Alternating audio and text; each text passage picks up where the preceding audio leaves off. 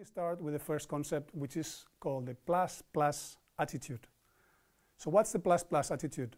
Plus plus stands for I'm okay, you're okay. I respect myself, I respect you. I'm not above you, I'm not below you, we are the same level. We are equal in terms of human beings. We are equal in terms of being people that relate without paying attention to our hierarchy, paying attention to our former experience, how old are we, without paying attention to anything, because it's unconditional acceptance of myself and of you.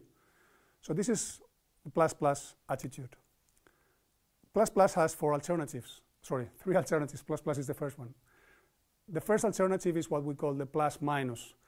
And this happens when I meet someone and I believe I'm right and they are wrong in the sense of being, not of the concepts we're talking about, not in terms of the explanations. And even if I wouldn't accept their explanations or their justifications about something, I need to respect what they are saying because for them it's true. And I will very, very quickly now talk about another concept which will explain this. But first let me finish with this plus plus stuff. So plus minus is when I'm one above you. Minus plus is when I'm one below you. So let's, let's figure out that I meet someone on the street and he's yelling at me and I don't like him what, what he or she is saying. I have the opportunity, because it's an opportunity, of feeling or thinking, I'm okay and you are not, because you are yelling at me. So I am one above you in that respect, so that's plus minus.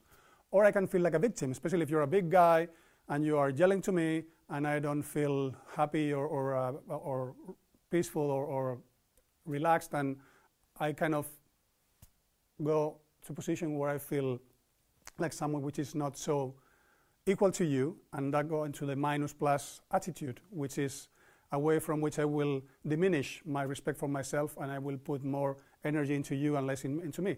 So that's a minus plus.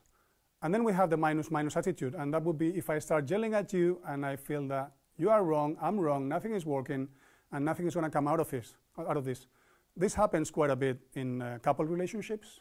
Sometimes you are yelling to your spouse and you are noticing this is not going anywhere. Sometimes, unfortunately, this ends not in a very nice um, ending.